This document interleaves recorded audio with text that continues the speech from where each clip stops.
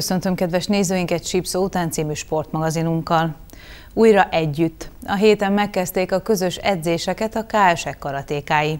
A home office után most végre a szabadban és csoportosan folytatódhat a munka. Márciusban teljesen leállt a sportélet, felfüggesztették a sporteseményeket és az edzéseket is egyaránt. A hét elején életbe lépő rendeletnek köszönhetően azonban újra visszatérhetnek kedvenc elfoglaltságukhoz a sportolók, így például a karatékák is. Ez az új helyzet mindenki számára új dolog volt, újra kellett terveznünk nem csak az edzéseket, hanem a, az egész mindennapi életünket, versenyeket, edzőtáborokat, szemináriumokat. Nehéz volt a gyerekeknek is, és nehéz volt ugye az edzőknek, feketőveseknek. Mi nekünk úgy sikerült megoldani, hogy ugye először diákolimpia után voltunk, egy versenysorozatot zártunk le, hogy az első két hétben pihentek a gyerekek, majd ezt követően kaptak egyéni edzéstervet a versenyzők, és otthon végezték az edzés munkájukat. Szerencsére május 4-től újra tudtuk a közös edzéseket szervezni. Sajnos még a versenyekkel nem tudunk mit kezdeni. Ugye a hazai és a nemzetközi szövetségek egyelőre töröltek minden versenyt, és még kétséges a, az idei indulásunk is. Várhatólag ősszel tudunk a verseny sorozatokba bekapcsolódni, illetve a törölt versenyeket, akár hazai nemzetközi versenyeket, vagy az idei év második felébe, vagy jövőre tudjuk majd a felkészülést megkezdeni rá. Hogyan változik most az edzés, hiszen ugye jelenleg is kint vagyunk itt az edzőterem mellett. Marad ez továbbra is, hogyha az időjárás engedi, hogy kint lesztek a szabadban, vagy van esetleg arra esély, hogy visszamehettek majd a szőnyegre a terembe? Nem zárja ki semmit, hogy akár benne a terembe szőnyegen tudjunk edzeni. Az első héten azt terveztük, hogy teljesen szabadba fogunk majd edzeni, illetve a megfelelő védőtávolságok betartása mellett a terembe is tudunk edzeni.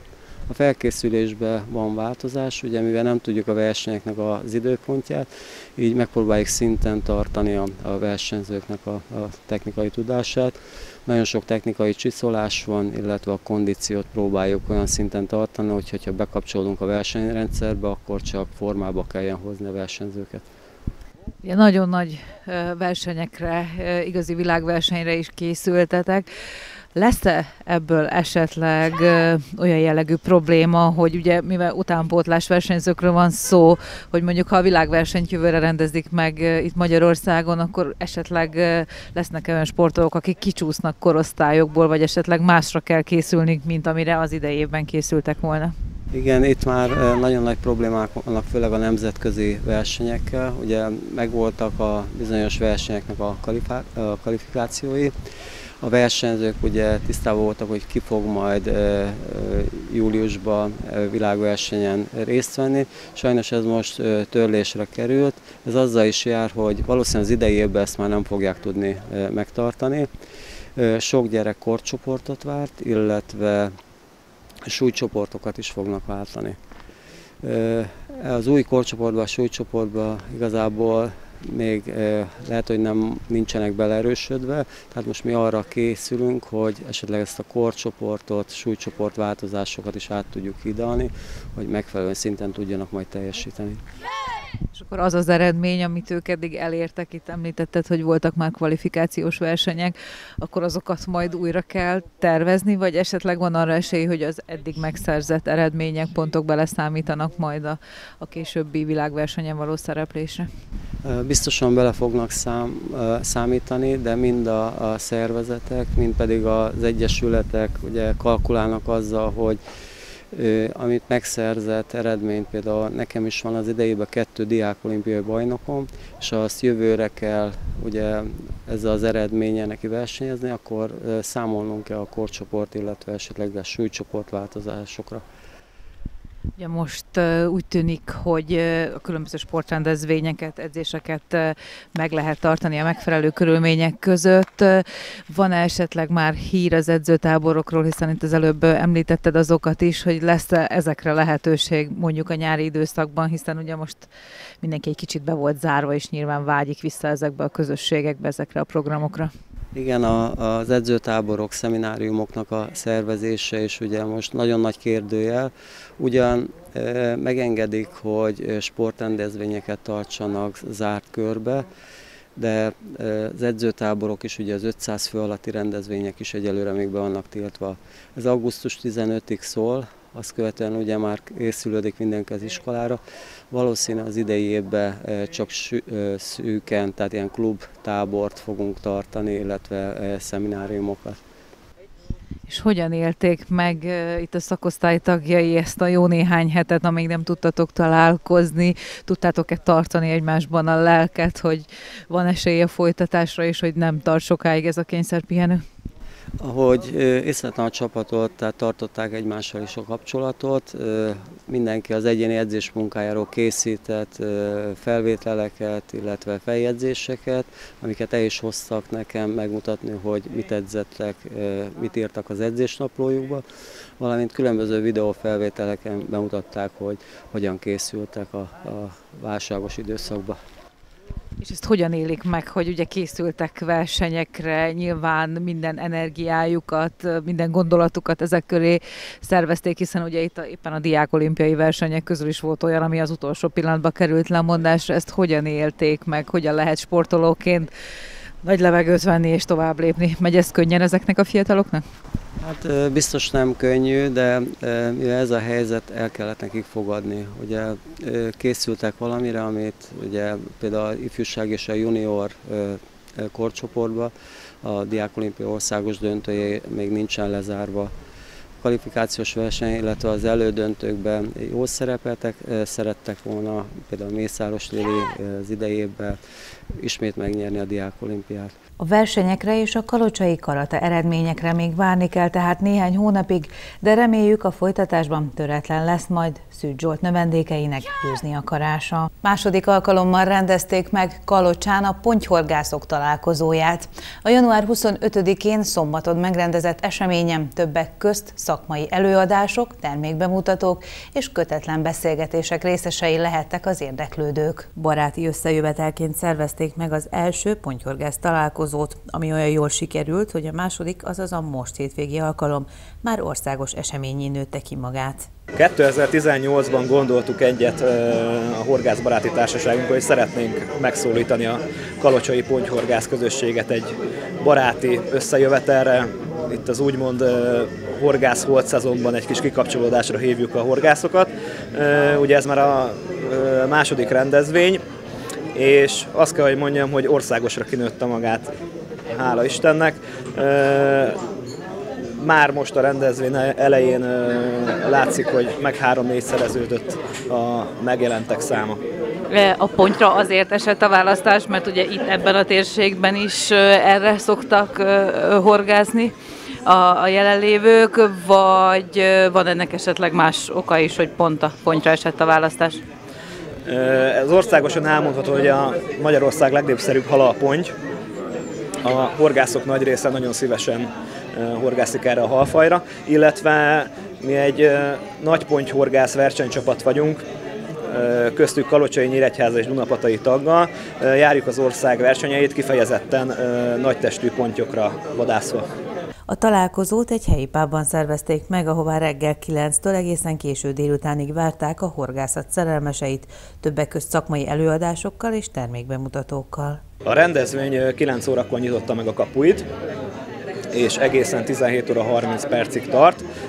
Közte neves országosan ismert előadók tartanak szakmai jellegű előadást, mint például Haraszkó Csaba, a, aki a Magyar Horgász állandó szakírója, illetve a Magyar Pontyfogó válogatott ö, szövetségi kapitány helyettese.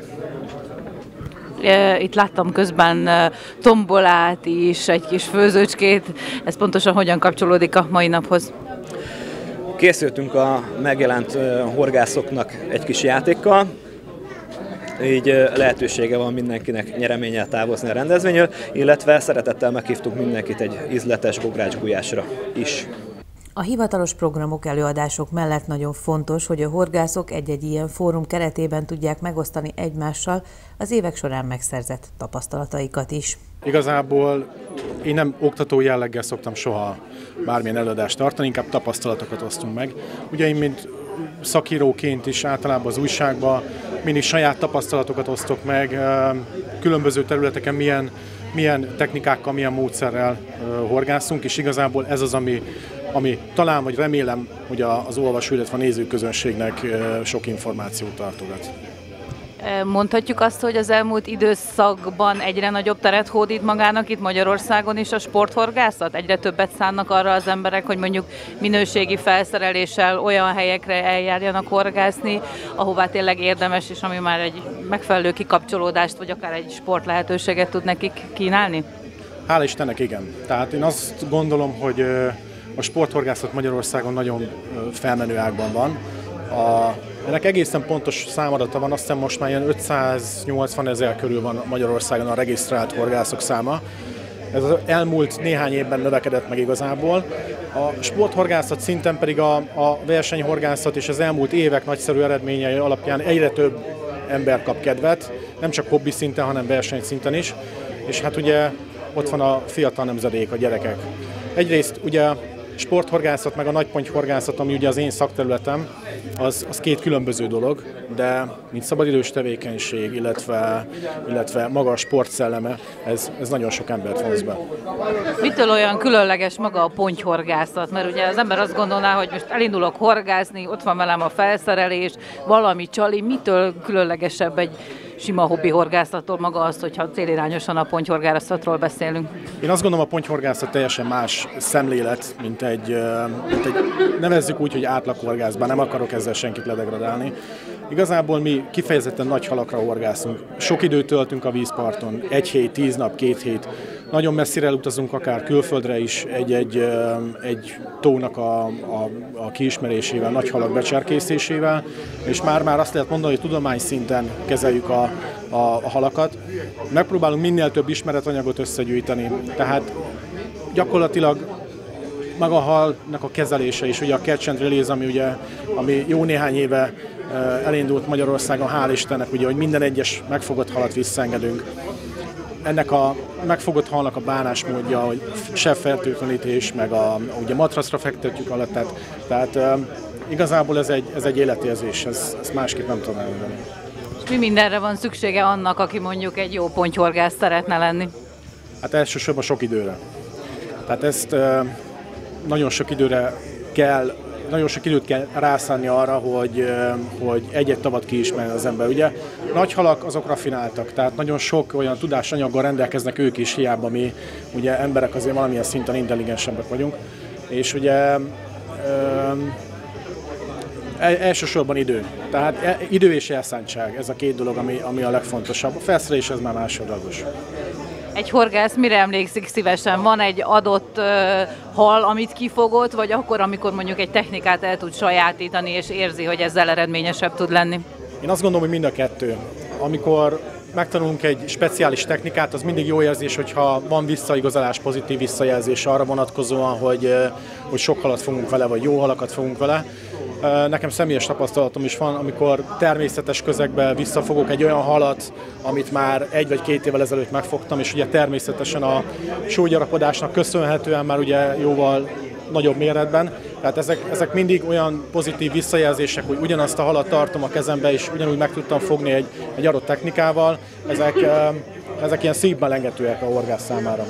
És vannak-e kedvenc helyek, ahova eljársz horgászni, mondjuk itt Magyarországon belül, vagy esetleg külföldön is? Én leginkább a természetes vizet, vizeket kedvelem. Nagyon sokat horgáztam holtágakon, olyan helyeken, ahol ugye nem betelepítik a halakat, hanem azok a, azok a, azok a, a, azok a halak, amelyek ugye 8-10-15-20 éve ott élnek abba a tóba, ö, nagyon nagy tudásanyaggal rendelkeznek ők, és nagyon nehéz őket becserkészni. Ezek sokkal, sokkal nehezebb ezeket a halakat megfogni, már csak a körülmények miatt is. Rengeteg vízinnövény, nagyon sok olyan járulékos hal van, ami ugye nagy ponty horgászat közben bennünket nem elsőlegesen ez a célhal, úgyhogy, úgyhogy én inkább sokkal, a, a, sokkal inkább a természetes vizeket kedvelem. A versenysport az teljesen más. Ott más szemszögből vizsgáljuk, uh, hogyan tudunk minél rövidebb idő alatt minél több halat megfogni, ugye a nagypontyhorgászat pedig minél nagyobb halat megfogni, mindegy, hogy mennyi idő alatt. Tehát ugye ez teljesen nagy paradoxon a kettő. A szervezők a találkozó után már a nyárra készülnek, ugyanis 2020-ban is lesz horgásztábor Kalocsán. A versenyszezon tavasszal kezdetét veszi, de emellett 2018-ban jött a gondolat egy hiánypótló rendezvény megrendezésére. Ez volt az első Kalocsai Sporthorgász gyermektábor amely idén újra megrendezésre fog kerülni Kalocsán, a Miskei úti záportározón június 22-től 26-áig fog tartani ez a rendezvény, és szeretettel várjuk a gyermek és ifjúsági horgászokat erre a rendezvényre is. A hagyományokhoz hűen a 2019-es évet is egy légfegyveres ügyességi házi versennyel zárták a Kalocsai Sportlövők klub tagjai. A résztvevőknek ezúttal is tartogatott meglepetéseket a megmérettetés. Több mint tíz éve minden év végén összegyűlnek a sportlövészet szerelmesei egy remek hangulatú kis házi versenyre, hogy együtt búcsúztassák az aktuális esztendőt. Így volt ez 2019-ben is, hiszen december 28-án megtartották az eseményt. 2006-ban a Gyuri bácsi létrehozott egy szilveszteri lövészverseny. Ott találkoztam vele először, és azóta minden évben megrendezik a megalakuló emléknapot úgymond, hogy akkor indítottuk el, és minden évben más-más feladatot kell a lövőknek végrehajtani, tehát eltérő a, a szabványos lövészettől. A résztvevők több kategóriában indulhattak a légfegyveres ügyességi házi versenyen. A beosztást elsősorban az életkor határozta meg, hiszen a gyerekek és felnőttek teljesítményét külön-külön értékelték. A mai nap 14 év alatt Hát akkor az alsó korcsoport az nincs meghatár, nem határoztuk meg.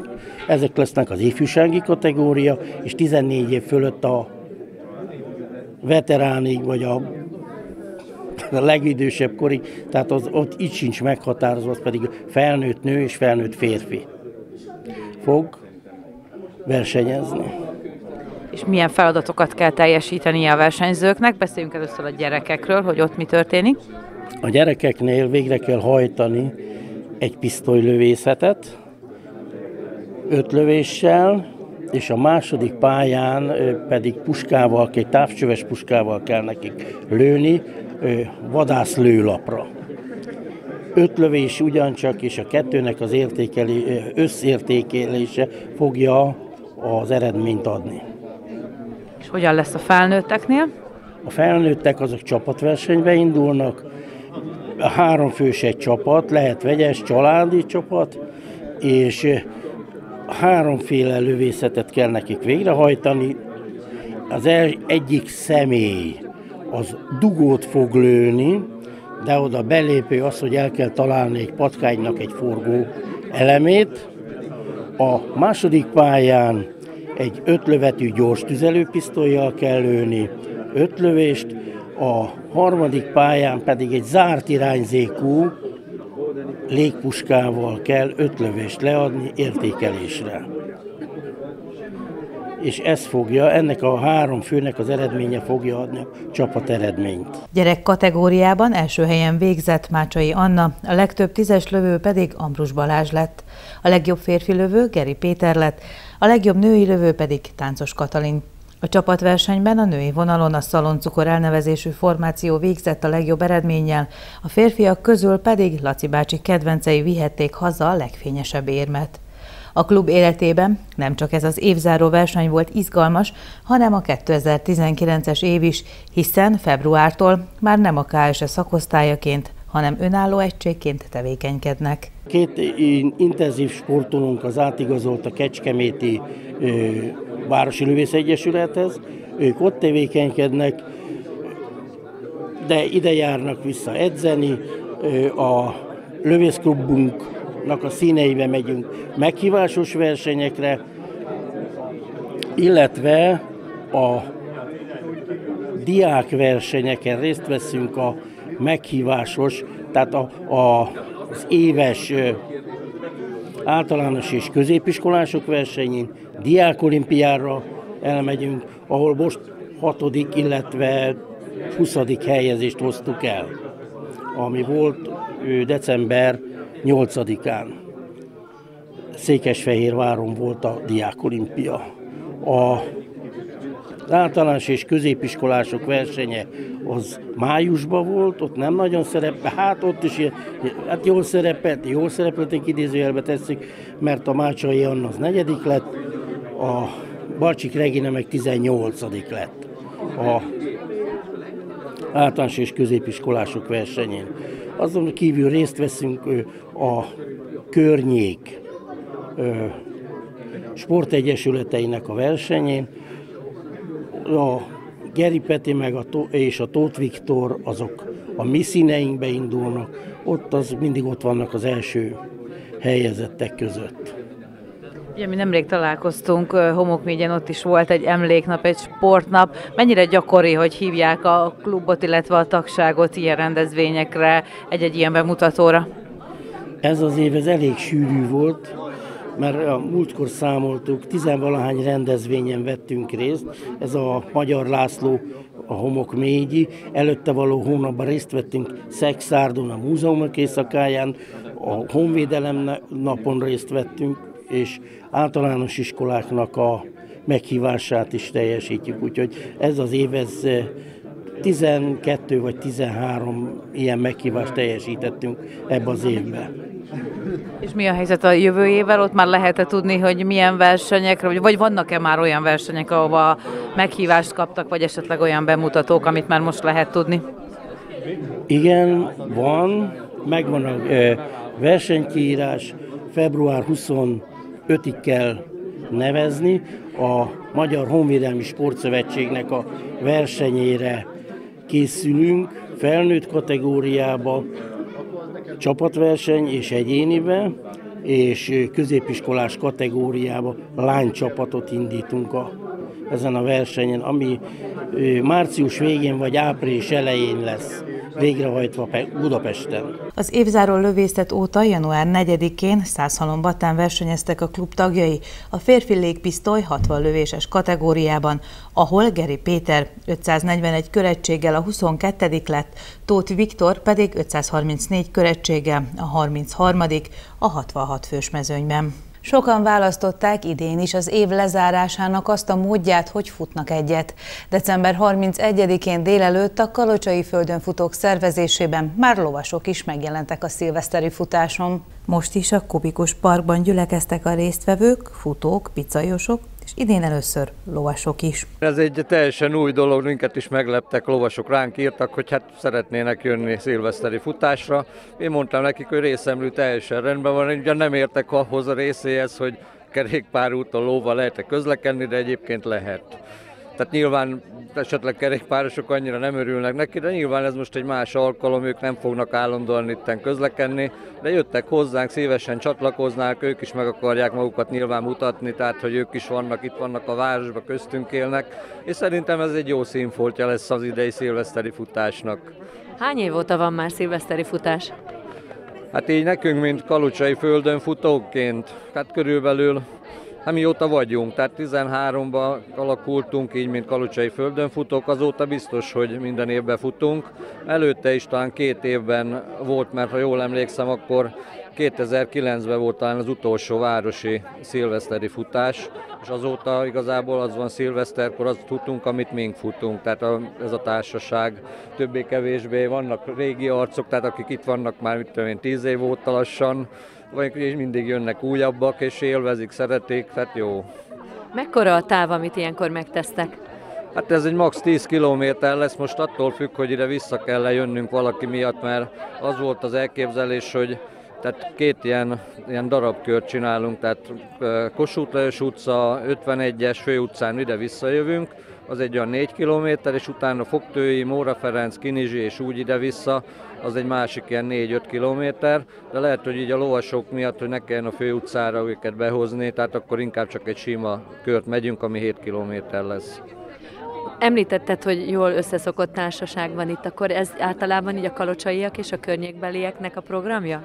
Igen, jellemzően kalocsaiak vannak itt, nyilván a páran környékből is jönnek, de jellemzően itt, igen, itt vagyunk mink, tehát kalocsaiak. Hogyan kell fölkészülni egy ilyen szilveszteri futásra? Mit szoktatok kérni a futóktól? Hát igazából aki fut, annak már nagy főkészülés ehhez nem kell, ez egy évvégi levezetése az évnek, tehát megkoronázása úgymond az évnek, egy kicsit bulizzunk, jöjjünk össze, készüljünk fel az esti programra. Nyilván kicsit melegebben kell öltözni, ugye azért hideg van ilyenkor, ugye itt nyilván nem úgy működik, hogy megállunk, megy mindenki dolgára, nem utána még szeretnénk egy kis forradbort, teját, pesgőt esetleg inni. Milyen volt a 2019-es esztendő a Kalocsai Földön futók számára?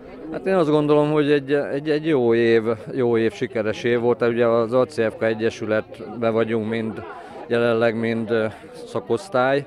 Azt most el kell mondanom, hogy tehát jövő évet viszont önállóan fogjuk elkezdeni, mert bejegyezték a Kalocsai Földön Futók Sportegyesületet.